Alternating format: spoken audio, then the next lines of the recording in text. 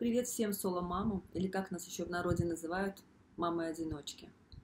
Это видео будет о нас, для нас, про нас. Безусловно, растить ребенка одной совершенно нелегкая задача. И здесь важно не питать никаких иллюзий. Мы прекрасно с вами понимаем, что все те заботы, вся та работа, которая в парах, в браке лежит на двух родителях, в нашем случае все на наших плечах. Мы вынуждены и готовить, и делать, и ходить в магазин, и ходить в школу, быть ребенку мамой, папой, быть плохим копом и хорошим копом. И все это, безусловно, очень сложно. Но здесь, наверное, и даже не наверное, а абсолютно точно, важно принять тот, тот факт, что это так и есть, что наша семья отличается от тех семей. И кстати, вот этот вот факт помогает женщинам перестать в каждом мужчине видеть потенциального папу. Как вы знаете, мужчины это, это чувствуют, очень быстро убегают из таких отношений. И при всей вот этой вот сложности, я думаю, что последние 3-4 года нам стало еще сложнее. И здесь огромную роль играют социальные сети. Я предлагаю сегодня сбросить, вот просто взять и сбросить с наших плеч часть вот этого груза. О чем я говорю? Все больше и больше я вижу женщин, также и на личных сессиях, которые находятся в огромном стрессе, которые воюют с собой, воюют дома. И все только потому, что они построили в голове идеал. Идеал мамы-одиночки. Я сейчас говорю о тех мамах, всегда все успевающих, шикарно выглядящих, у которых с детьми всегда все в порядке, и детки не болеют, и учатся прекрасно, из социальных сетей. Инстаграм, Фейсбук. Огромное количество вот этих вот мам, которые просто невероятный какой-то вот нам задают уровень. И мы, женщины, смотря на это, мы спрашиваем, ну а что со мной не так, почему я так не могу? Давайте вспомним о том, что вот эти фотографии, которые выставляются этими женщинами, это только 0,00001% их жизни. Я не хочу сказать, что все они обманывают и что, что все совсем не так, но очень мало, очень мало. Я знаю только парочку женщин, которые растят детей самостоятельно и выкладывают и ту другую часть, часть жизни тоже.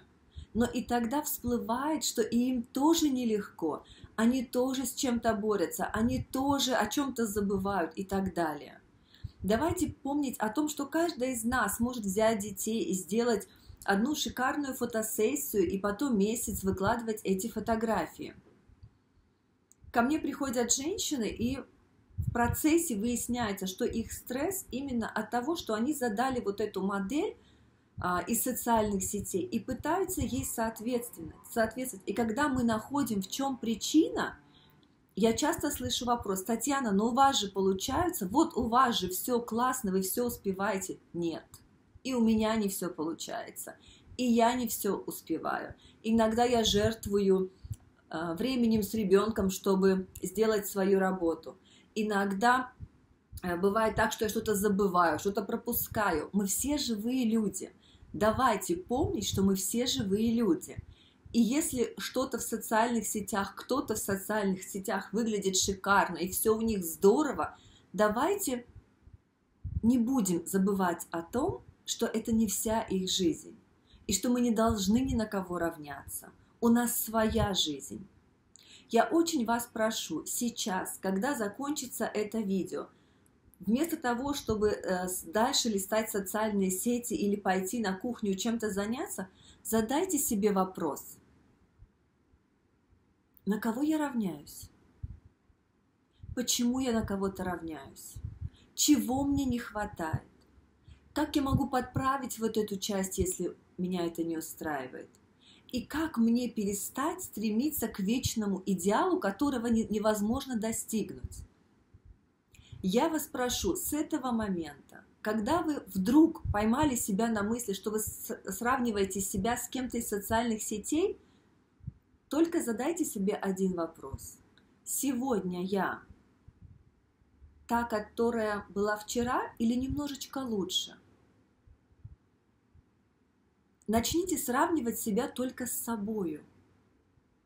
Что нового вы узнали в этот день? Какие знания, возможно, вы получили? Возможно, вы больше времени с ребенком провели.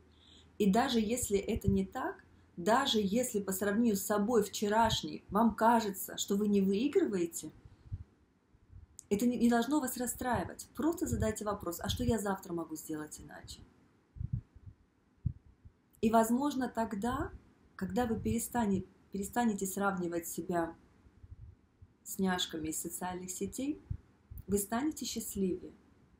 Вы перестанете куда-то бежать. Вы начнете по-настоящему жить, больше проводить времени с детьми. Но на этом, пожалуй, все. На такой вот проникновенной ноте. Пожалуй, все. И помните, что социальные сети – это только социальные сети. Жизнь, она здесь и сейчас. Живите в ней, наслаждайтесь ею. На этом, пожалуй, все. Пока.